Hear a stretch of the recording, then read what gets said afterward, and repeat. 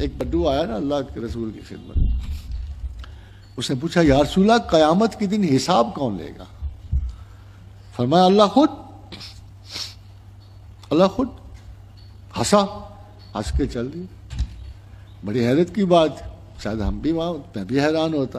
कि यार, ये हंसा क्यों? तो अल्लाह के रसूल ने इसको जरा बुलाओ। इसको बुलाओ, इससे पूछा, ये हंसा क्यों है?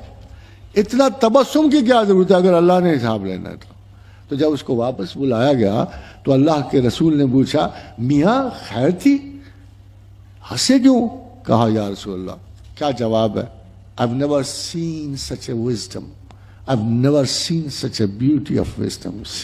फरमाया रसूल्ला हमने ज़िंदगी में देखा है कि जब कोई आली जर्फ हिसाब लेता है तो आसान लेता हमने ज़िंदगी में देखा कि जब कोई आली जर्फ हिसाब लेता है तो आसान लेता है। और या रसोल्ला अल्लाह से बड़ा आली जर्फ कौन होगा?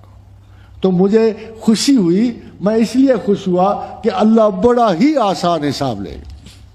खातिन हजरात ये ईमान है। ईमान ये है, अल्लाह पे गुमान ये है। रसूलुल्लाह सल्लल्लाहु अलैहि वसल्लम का इरशाद गिरामी है। फरमाया, अल्लाह पे गुमान अच्छा रखो। उसको जाबिर काहिर की तरह ना याद करो।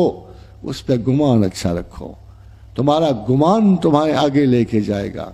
और ख़ास तौर पर मरते वक्त गुमान अच्छा रखो। फिर एक दुआ बताई, छोटी सी दुआ। और कहा कि ये दुआ मांगते रहना, कबर तक मांगते रहना।